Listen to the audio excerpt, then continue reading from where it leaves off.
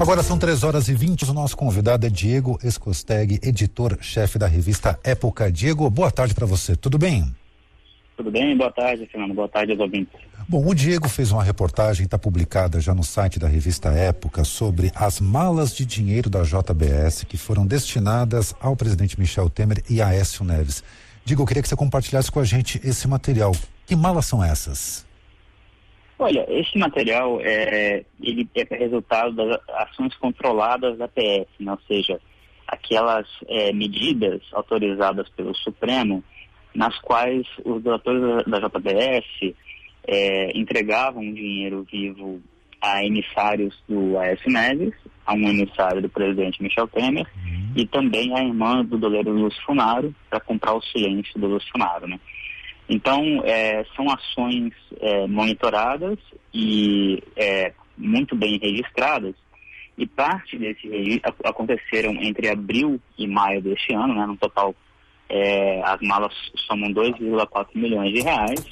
Foram cinco entregas né, de dinheiro vivo, uh, três entregas para uh, um emissário de Aécio Neves, o primo dele, né, cada entrega de 500 mil reais, uma entrega de 400 mil para a irmã do funcionário e finalmente a famosa entrega de 500 mil numa mala para Rodrigo Rocha Loures. O, o que nós revelamos agora é, são as imagens, e elas são muito fortes, né, por ilustrar de maneira muito contundente a materialidade do que nós discutimos e falávamos nos últimos meses, né? ou seja, o dinheiro, né? as notas de dinheiro, notas de 50 reais, notas de 100 reais, é, o, e os detalhes de como essas notas e esse dinheiro, esse objeto é tão desejado, especialmente quando ele é sujo, né, pelos corruptos e em parte pelos políticos brasileiros, é, nós tivemos os detalhes, ou seja, é, um funcionário da JBS ficava responsável por comprar as malas, porque boa parte dessa dinheiro não só caberia mesmo em malas, né? Uhum. Como a gente viu no caso do Rocha Loures. É, outro ficava responsável por recolher o dinheiro da propina e, e acondicionar esse dinheiro nas malas, nas bolsas e em pastas também, né?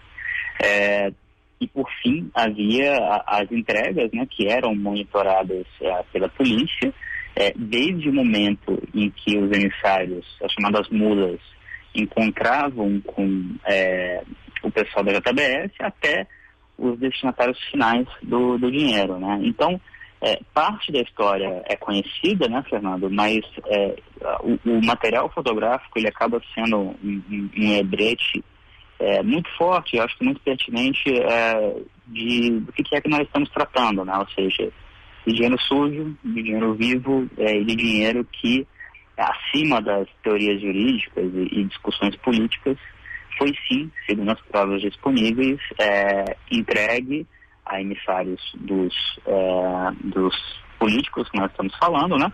E pelas, uh, pelas gravações, pelas mensagens de texto, enfim, pela, pela, uh, pelas fortes provas acumuladas ao longo desse processo todo, é, tudo isso indica que esse dinheiro é efetivamente destinado, sem nenhuma sombra de dúvida e com muita ilegalidade, a Aécio Neves e ao presidente Michel Temer. Né? Uhum. Vocês re ah, reconstituíram a cena por meio de algumas gravações, estão até sendo publicadas aqui, uh, de, de, entrevistas reservadas com os participantes de toda essa ação controlada.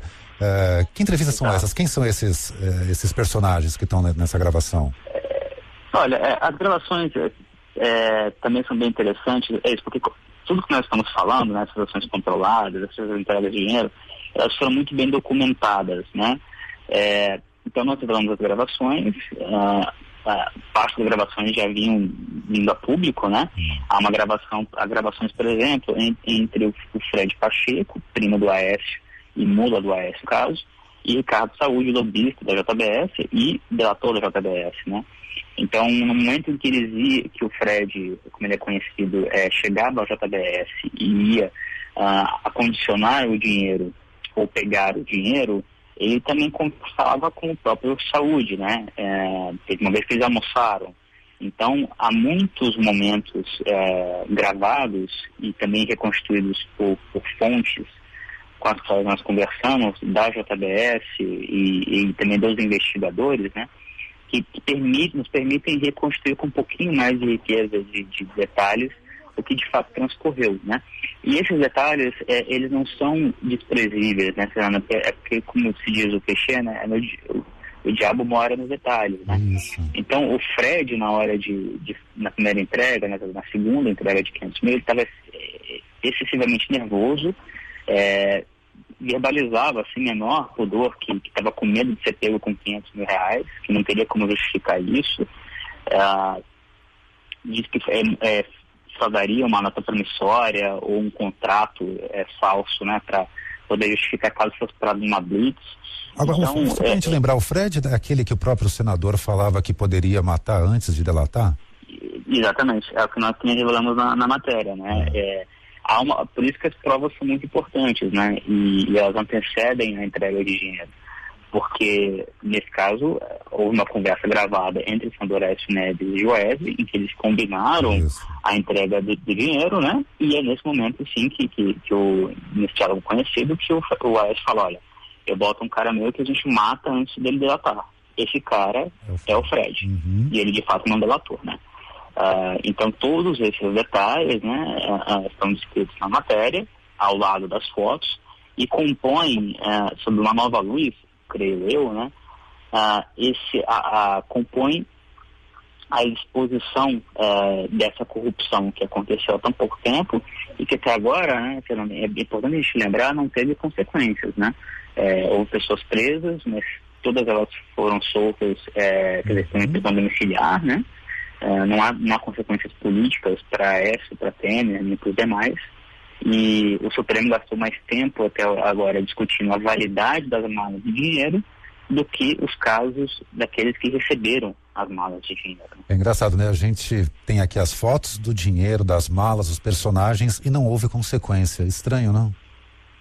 É, eu acho que, assim, por um lado, é, é, é compreensível que diante do devido processo legal, a, a parte jurídica, judicial no Supremo é, e ser no Supremo o que é hoje, né, uh, diante das dificuldades que ele tem de processar criminal de cor em branco, que, que demore é, um pouco.